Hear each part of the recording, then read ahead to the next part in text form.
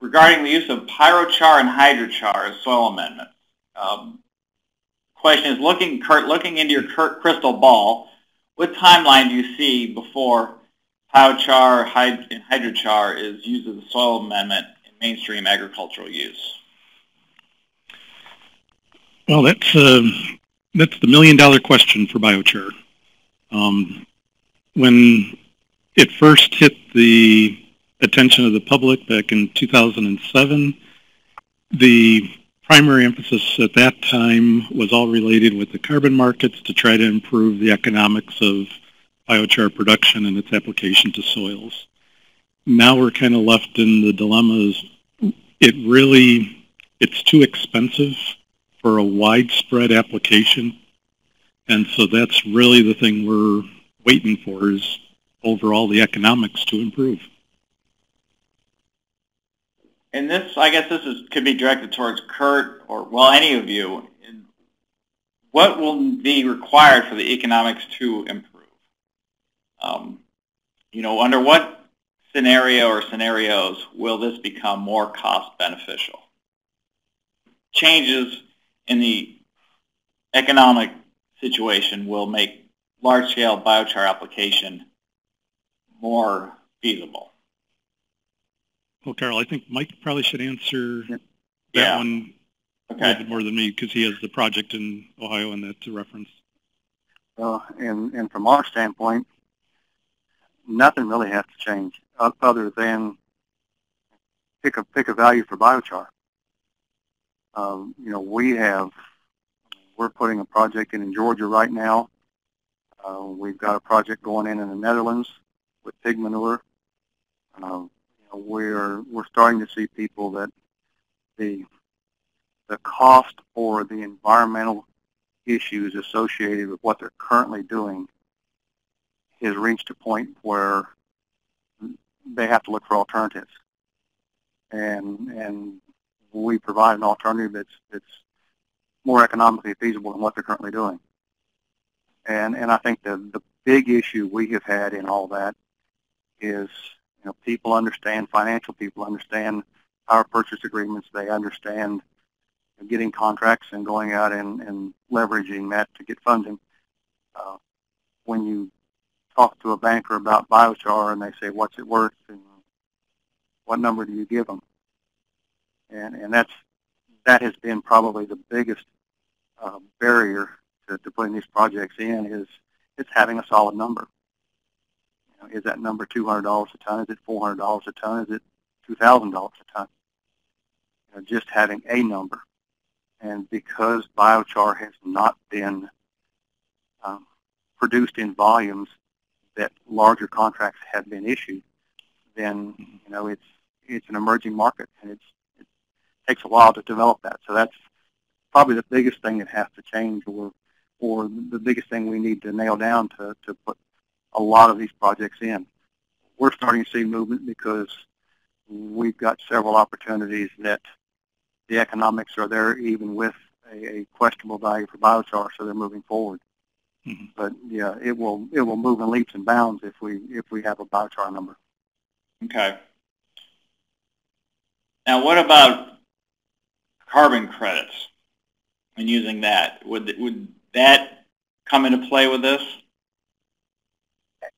At this point in time, um, the carbon credits that you should actually get for one of these projects is a pretty large number but you're back to you have to go in front of, and whether it's the California Air Resource Board or whoever is going to certify it that, that you're going to get paid from, uh, you've got to establish a methodology and prove that you are sequestering that amount of carbon.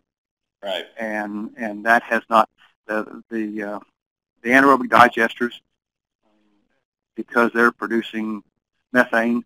Uh, they've got an established value, so it's it, it's pretty straightforward. Uh, gasification or pyrolysis, you know, those types of systems, you know, we haven't gone through those battles yet. So that's a, you know, again, that's not that's not a, a hurdle that that can't be overcome, but it's going to take some time and, and money to to get the first one of those processed. All right. Um, Question here, and this is for Mike. How does the capital cost of these systems you discussed compare to a digester?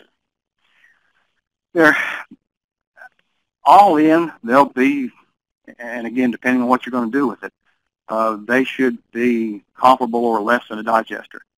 Okay. The, the, the big issue is digester doesn't solve the problem.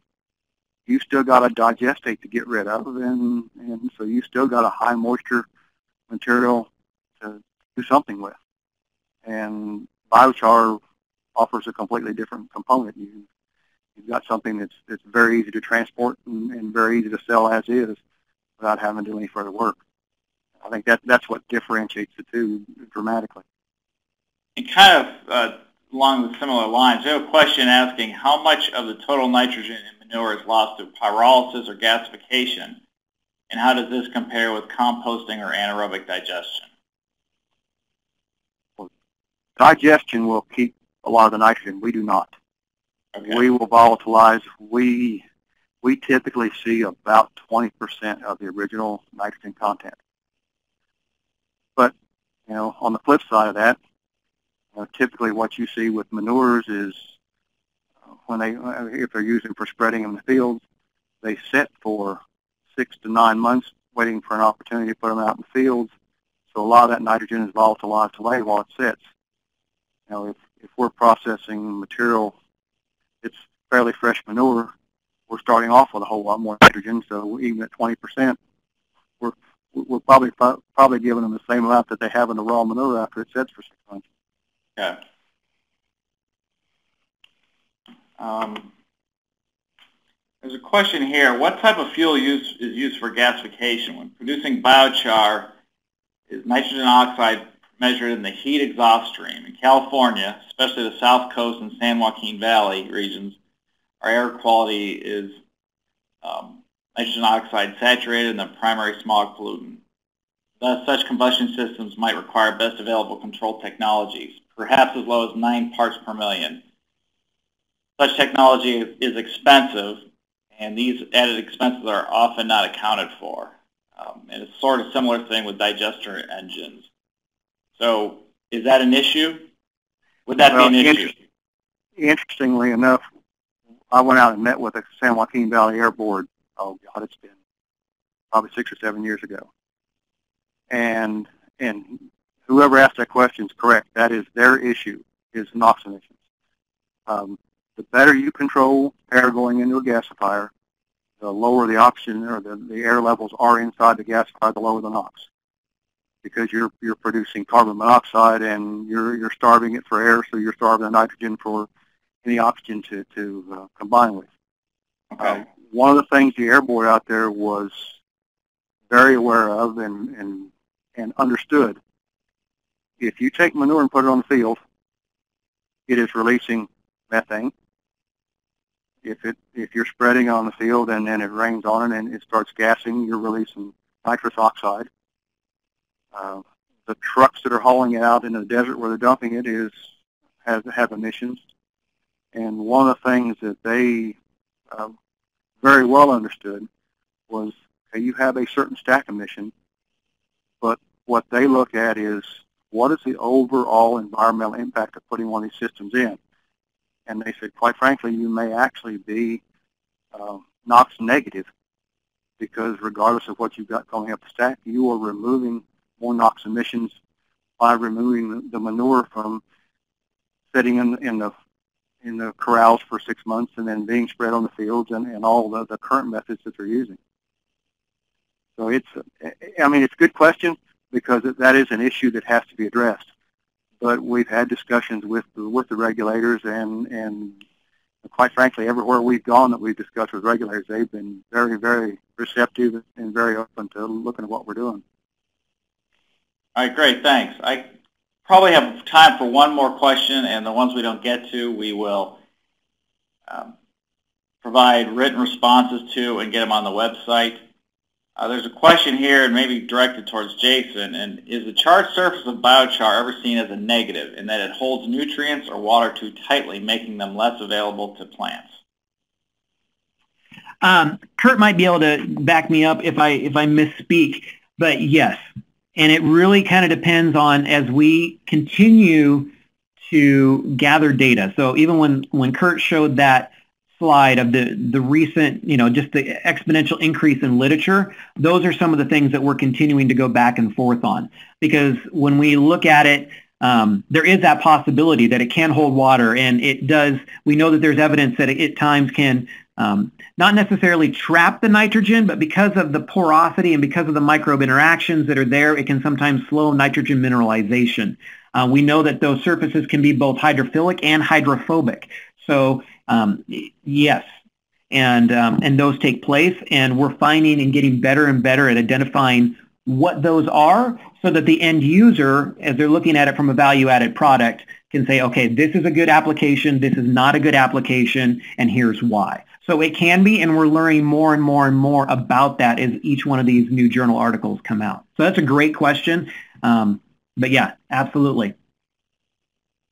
All right, thanks. Well, I just want to thank everyone uh, for attending this webcast and thank uh, our speakers again. And as we mentioned before, that this is part one of a two-part series. Next month, August 21st, we'll have another discussion on agronomic and environmental use of biochar, and there we're going to focus on some examples of actual agronomic uses and environmental uses, including microbial transport, pathogen transport through biochar amended soils, as well as uh, discussion on niche markets for biochar.